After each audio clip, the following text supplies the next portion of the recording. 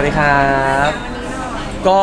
อ่าหัวหินเซิร์ฟสเก็ต festival 2020 นะครับผมเอ้ย2021 ใช่ไหมครับผมก็เป็นอ่าการเปลี่ยนไลฟ์สไตล์ที่หัวหินนะครับผมให้ดู cool ยิ่งขึ้นนะครับ โดยการเรามาใช้เซิร์ฟสเก็ตเล่นแล้วก็ออกกำลังกายกันนะครับผมซึ่งดีเลยดีเลย เพราะว่ามันเป็นการเชิญชวนให้วัยรุ่นนะฮะไปเที่ยวที่หัวหินมากขึ้นด้วย แล้วก็วัยรุ่นที่อยู่ที่หัวหินอยู่แล้วเนี่ยเขาก็จะได้มีกิจกรรมทำมากขึ้นด้วยครับใช่ครับ ปกติจะไปแค่ทะเลเลย จะไปแค่แบบไปเที่ยวไปพักผ่อนเลย ซึ่งดีมากๆรอบเนี้ยการไปหัวหินของแต่ละคนก็จะมีการเพิ่มกิจกรรมมากขึ้นเฮ้ยนอกจากจะไปทะเลแล้วเราไปเล่นเซิร์ฟสเก็ตกันดีกว่าอะไรอย่างเงี้ยครับก็เป็นกิจกรรมดีๆครับผมใช่ครับ ว่าเล่นเซิร์ฟสเก็ตเก่งมากเก่งใช้คำว่าเก่งเลยนะฮะเอ่ออาจจะยังไม่ไม่เก่งมากนะครับ ทุกคนก็ฝึกเล่นพอเป็นครับใช่ครับก็เนี่ยเริ่มพร้อมทุกๆคนนี่แหละครับใช่ครับมันเล่นแบบกลับตัวได้ ยังกลับตัวเหลือ snap เลยเหรอครับโอ้โหไม่ได้ครับทุกคน คือด้วยความที่เรารู้ว่าเรามีซีรีส์ด้วยอะไรเงี้ยครับผมกลัวว่าเดี๋ยวผมไปแบบ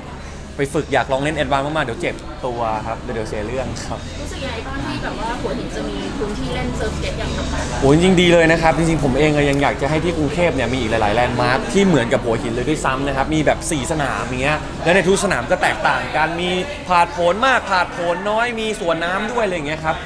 จนทำให้รู้สึกว่าคนกรุงเทพต้องอิจฉาคนหัวหินแน่ๆตอนนี้แล้วหลาย ๆ คนก็คงจะไปเล่นเซิร์ฟสเก็ตที่หัวหินกันมากขึ้นครับ อยากให้ให้คำแนะนำกับน้องๆที่อยากเล่นเซิร์ฟสเก็ตนะคะอันดับแรกเลยนะครับผมหาเซิร์ฟสเก็ตที่ตัวเองถนัดเพราะว่าเซิร์ฟสเก็ตในแต่ละอันที่ผมเรียนรู้มาแล้วนะในแต่ละแบบเนี่ยเล่นไม่เหมือนกันเลยนะครับบางคนเนี่ยเข้าใจว่าทุกๆแบบเหมือนๆกัน แล้วก็ใช้วิธีเดิมๆเล่นในแบบที่มันหลากหลายมากขึ้นล้มได้นะครับแล้วก็ที่สำคัญเนี่ยใส่พวกสนับศอกสนับเข่าแล้วก็หมวกกันน็อกด้วยนะครับปลอดภัยไว้ก่อนครับ เตรียมอะไรให้แฟนๆได้บ้างก็คงจะเตรียมเซิร์ฟสเก็ตคู่ใจไปนะครับ มีอันที่เราเล่นถนัดอยู่แล้วนะครับ แล้วเดี๋ยวคงจะไปเล่นโชว์นิดๆหน่อยๆนะครับ ผมเชื่อว่าแฟนคลับต้องเล่นเก่งกว่าผมอะเพราะผมไม่ได้เล่นเก่งมากนะครับผม โอเคก็สุดท้ายก็ฝากฝา กถึงงานชวนชวนชวนแฟนๆให้มาดูอะไรอย่างเงี้ย ได้ครับยังไงก็ขอฝากด้วยนะครับ ผมหัวหิน Surf Skate Festival 2021 นะครับรับรองว่ามันแน่ๆนะครับ มีหลากหลายสนามหลากหลายรูปแบบเลย ผมเชื่อว่าใครที่แบบเพิ่งเล่น หรือว่าใครที่เล่นเป็นแล้ว หรือใครที่เล่นเก่งมากๆเป็นโปรแล้วหรืออะไรเงี้ยนะครับ ก็ไปเล่นได้ครับ รับรองว่าเป็นไลฟ์สไตล์ใหม่ที่หัวหินอย่างแน่นอนนะครับฝากด้วยครับ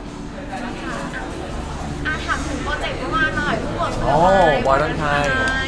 ครับผมก็เป็นอีกโปรเจกต์ เป็นเมกะโปรเจกต์เลยก็ว่าได้นะครับของ GMMTV นะครับก็จะเป็นโปรเจกต์ใหญ่เลยนะครับเราจะมี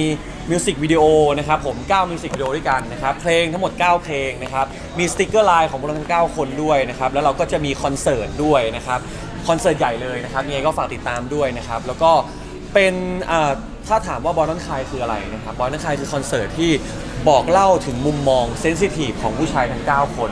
ว่าเฮ้ยผู้ชายที่เขาบอกว่าเป็นลูกผู้ชายอย่าร้องไห้ดิอย่าร้องไห้ดิอย่าเสียน้ำตาดิความจริงแล้วเนี่ยผู้ชายก็ร้องไห้เป็นเหมือนกัน แล้วเขาจะร้องไห้ด้วยเรื่องราวอะไรบ้างต้องติดตามครับอะแต่ว่าเราเป็นโปรดิวเซอร์ด้วยนี่ครับผม